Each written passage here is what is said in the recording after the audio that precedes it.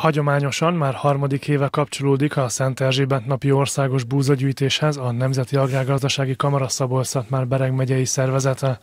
A búzagyűjtő felhívás három évvel ezelőtt egy kárpátaljai gyermekjóléti szolgálat támogatására kelt életre, de az évek során annyival nőttek a felajánlások, hogy mára a hazai rászorulókat is támogatni tudják a szervezők. A gazdák egyre szolgalmasan, illetve egyre nagyobb arányban kapcsolódnak be ebbe a programba. Ez mutatja azt, hogy minden évben megduplázódik a begyűjtött mennyiség.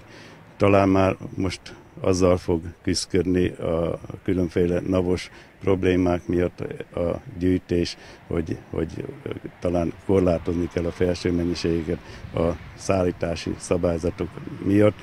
Én úgy gondolom, hogy egy nemes cél érdekében állt az Agrárgazdasági Kamara emögé, a felhívás mögé, és azokon az embereken tudunk segíteni, akik rászorulnak. Idén az összegyűjtött búzából készült lisztet a Vöröskereszt megyei szervezete, a Humannat Alapítvány és a Nyíregyházi Gyermekjóléti Központ osztja majd szét az ünnepeket megelőző időszakban a megye több ezer rászorulója között. A karácsonyi szeretet akciónkat segíti ezzel az Agrárkamara, és segítik azok a gazdák, akik a megyéből összeadták azt a búzát az aratás után, amiből adományokat tudnak juttatni a civil szervezeteknek, és ezáltal segíteni tudunk a, az embereken a megyében, a rászoruló embereken, akik segélykérő levelet küldenek a Vöröskereszt számára karácsony előtt. Szabolcs már Bereg megyében mintegy 70 tonna lisztet osztanak majd szét a rászorulók között.